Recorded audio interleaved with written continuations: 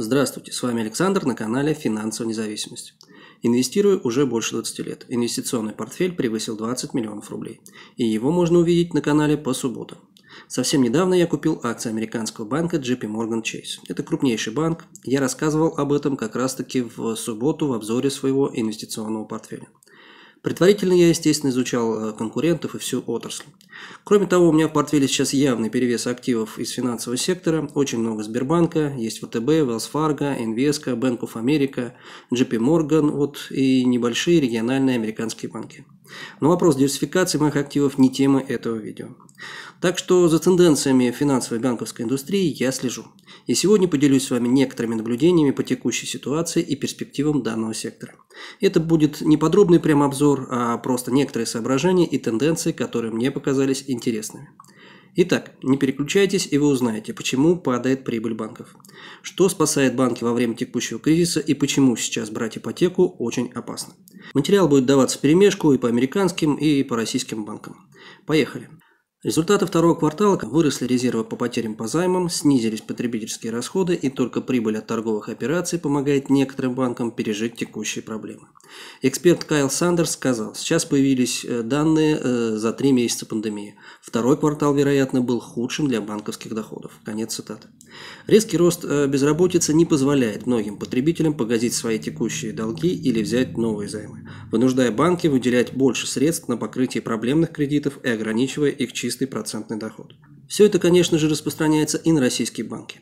Я, опять же, в субботних видео рассказывал, как сильно упали чистые прибыли в Сбербанке и ВТБ с начала года по сравнению с аналогичным периодом прошлого года.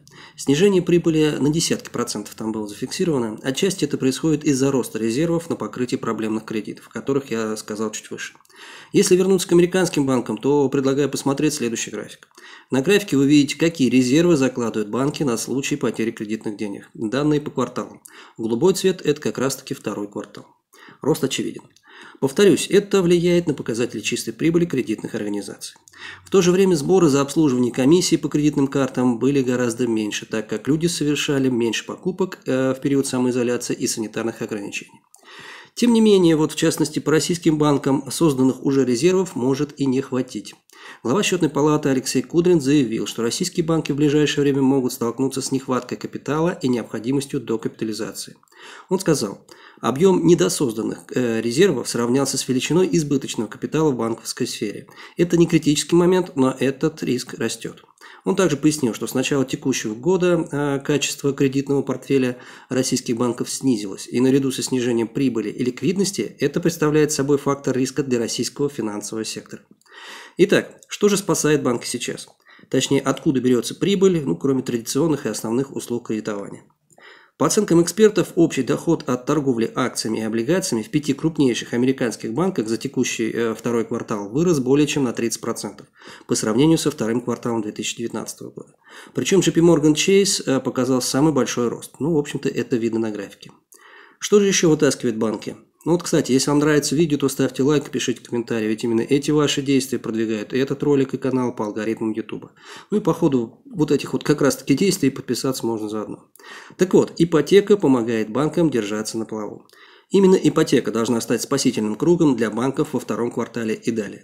Это утверждение справедливо и для американских, и для российских банков, и других, конечно же, тоже.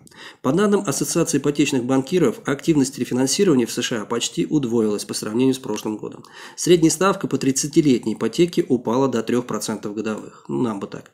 В России ипотечную ставку тоже снижают. Все знают о льготной ипотеке, да и обычно снижается постепенно вслед за ключевой ставкой Центрального банка Российской Федерации.